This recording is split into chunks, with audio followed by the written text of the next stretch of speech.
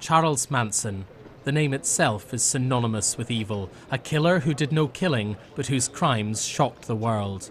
In August 1969, followers of his cult broke into the Hollywood home of Sharon Tate. The pregnant actress, who was married to the director Roman Polanski, was brutally murdered, along with four of her friends.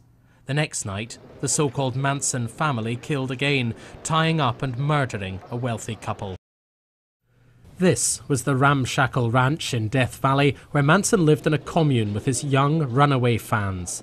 They apparently used LSD and saw the guitar playing ex convict as a kind of saint, or perhaps a devil. Charles Manson was charged not with wielding a knife or firing a gun, but with controlling and directing the killers. I don't accept the court. I don't accept the whole situation. You know, like I was in the desert minding my business. This confusion belongs to you. It's your confusion. I don't have any confusion. I don't have any guilt. I know what I've done, and no man can judge me. I judge me. What have you done, Charlie? And why had he done it? Apparently to spark a race war. It would be called Helter Skelter, and he would use it to seize power. In 1971, Manson was sentenced to death on seven counts of murder, later commuted to life in prison.